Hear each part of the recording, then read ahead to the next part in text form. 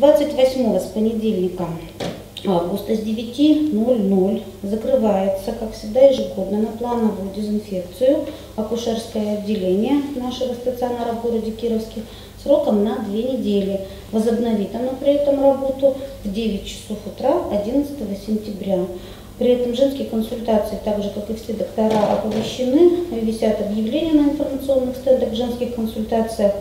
Э, госпитализация плановая будет осуществляться по направлению доктора, который наблюдает женщин, поэтому убедительная просьба, как всегда, э, слушать рекомендации своего лечащего врача и незамедлительно их исполнять. Женщины из группы низкого акушерского риска будут направляться в город Мончегорск. Группы среднего и высокого акушерского риска принимать будет Мурманский областной перинатальный центр.